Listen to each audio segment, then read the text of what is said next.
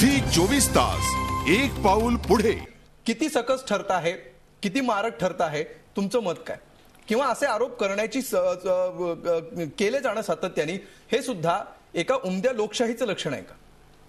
नाही आरोप करणं लोकशाहीत तुम्ही रिस्ट्रिक्ट करूच नाही शकत. कारण ऑपोजिशनचा जो रोल असेल किंवा सरकारचा असेल किंवा इंडिपेंडेंट ऍक्टिव्हिस्ट असेल किंवा मीडिया असेल त्यांच्या हातात जर काही डॉक्युमेंट्स आले काही पुरावे पुरावे आले काही मुद्दे आले तर ते मांडणारच आहे.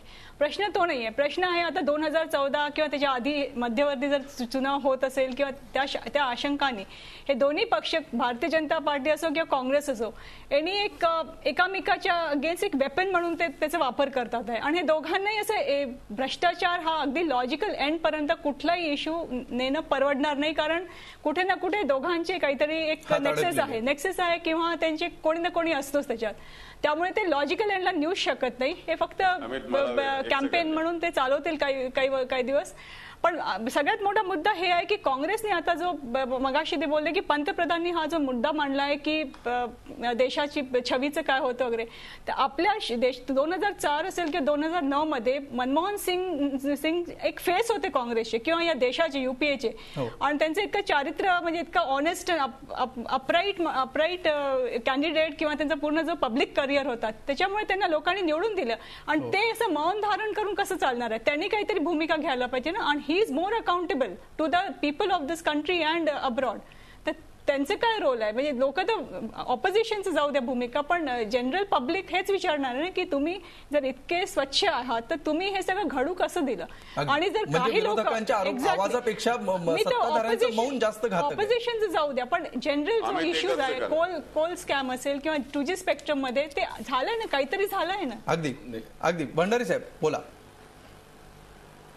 नाही शुभंगीने जो मुद्दा उपस्थित केला त्यातल्या एकालाच मला उत्तर द्यायचं आहे की लॉजिकल एंडला नेण्याचा जो विषय आहे मला बाकीच्यांबद्दल बोलायची गरज नाही.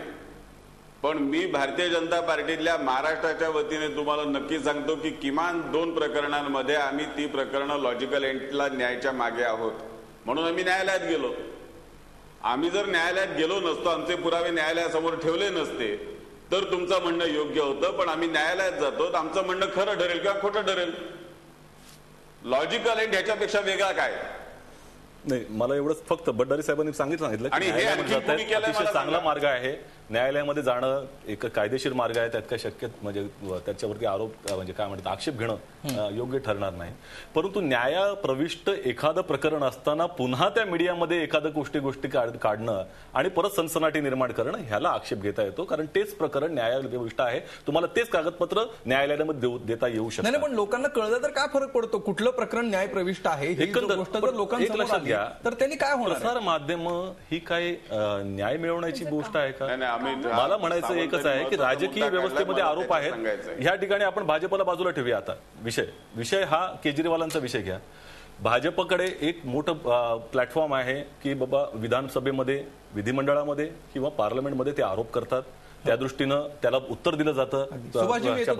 हो. परंतु ज्या वेळेला एखादी संघटना आरोप करते पक्ष आरोप करत असतो आणि कागदपत्र दाखवून ते सांगतात त्यावेळेला त्याच्यामागे फक्त एकच प्रश्न विचारावा वाटतो की तुम्ही संबंधित विभागामध्ये तक्रार केलीत का त्या दृष्टीने त्यांचं उत्तर काय आलं? आणि जर ते नाही त्याला जर तुम्हाला समाधानकारक नाही तर कोर्टामध्ये गेलात का? या दोन्ही गोष्टींचं उत्तर जर नकारार्थी दिलं असेल हो. तर माझं म्हणणं आहे फक्त सवंग प्रसिद्धीसाठी त्या ठिकाणी त्यांनी केलेलं हा पाऊल आहे आणि तेच घातक आहे. अगदी. सुभाषजी बोला. हा, मला काय वाटतं हे आरोप काय आहेत? त्याचे मुद्दे काय आहेत? आणि त्याची उत्तरं देण्याच्या ऐवजी हे जे परिघावरून गोल गोल फिरलं जाते की न्यायालयात प्रकरण असेल तर ते कशाला सांगितलं? माझं म्हणणं असं की न्यायालयानं जो रिमार्क मारलेला आहे हरियाणा आणि पंजाब हायकोर्टानं आत्ताच्या या अरविंद केजरीवालांनी जे आरोप केले ते की डीएलएफ आणि हरियाणा सरकारच्या मधल्या मॅलाफाईड नेक्सेस असा शब्द वापरलाय आता हे जर हायकोर्टाचा रिमार्क आहे मॅलाफाईड नेक्सस तर हे जनतेसमोर आणायचं नाही म्हणजे. काय दुखणं आहे हे झाकून. काय आहे त्याचा विचार न करता त्याच केजरीवालांनी ज्या वेळेला अर्धसत्य म्हणून सांगितलं डीएलएफ म्हणतंय तर तुम्ही देखील केजरीवालांना हा तुमच्या अध्यक्षांना प्रश्न विचारला पाहिजे की तुम्ही का अर्धसत्य सांगतात? त्याच निकालावरती सुप्रीम कोर्टाने स्टे दिलेला आहे आणि न्याय व्यवस्था ही सांगते की एखादा निकाल ज्या वेळेला सुप्रीम कोर्ट स्टे देतो त्यावेळेला तो अंतिम नसतो. त्यामुळे अर्धसत्य तुम्हीही सांगत आहात. हा विषय सुटला पाहिजे. म्हणून म्हणतोय की ह्याचा जो. निकाल आहे की काय योग्य काय अयोग्य यंत्रणा. देऊ शकते? परंतु- आमचं हेच म्हणणं आहे. स्टे दिला म्हणून मॅलाफाईड नेक्सेस हा शब्द नाही का त्याच्यातून गेलेला? परंतु तुम्ही का नाही ऐकून सांगितलं की याला तो स्टे दिलेला आहे. जनतेसमोर अर्धवट माहिती देणं हे देखील अयोग्य आहे. ह्याला सुप्रीम कोर्टात स्टे मिळालेला आहे. हे देखील सांगितलं पाहिजे त्याच्याबरोबर. अशाच अनेक गोष्टी आहेत. त्यात बाकीच्या सगळ्या आरोपांचं खंडन करताना अर्धसत्य देखील केजरीवालांनी बरंच सांगितलेलं आहे. आणि काही ठिकाणी म्हणजे दादा खोटंही म्हणजे सांगितलं सचिनजी म्हणजे सचिनजी पुन्हा एकदा तुम्ही तो जो जमीन व्यवहार आहे आणि कुठलाही चॅरिटेबल ट्रस्ट नसताना सरकारी जमीन एखाद्या ट्रस्टला दिली जाते या प्रशांत मुद्द्यावर पुन्हा तुम्ही प्रशांत आहात. दिली हिमाचल प्रदेशची जमीन दिली त्याचं म्हणताय का भाजप सरकारने? नाही नाही डीएलएफ डीएलएफ? जी दिलेली जमिनीचे. त्याचं काय त्याचं ही दोन तीन प्रकरण थांबा थांबा. हरियाणा सरकारच्या जमिनींच्या व्यवहाराबद्दलचं जे कालचं प्रकरण आहे अरविंद केजरीवालांचं पुन्हा त्याच्याविषयी न बोलता तुम्ही तांत्रिक मुद्द्यावर जाताय. त्या प्रत्येक आरोपाचं उत्तर द्यायला मी इथे आहे तयार आहे. नाही नाही सुभाष सुभाषजींना पूर्ण करूया. त्यांचा ती पक्ष नवा आहे. ते नव्याने पक्षाची ती- बाजू मांडतायत. तुम्ही गेल्या अनेक वर्षांपासून हे काम ती- करता त्यांना त्यांचं उत्तर पूर्ण करू द्या. सुभाषजी बोला. उत्तर तुम्ही उत्तरं द्यायला जर तयार आहात तर ती उत्तरं देण्याच्या ऐवजी तांत्रिक मुद्दे काढू नका ना की मीडियाकडे कशाला जाता न्याय व्यवस्थेतला मुद्दा बाहेर कशाला काढता. अरविंद केजरीवाल कोण?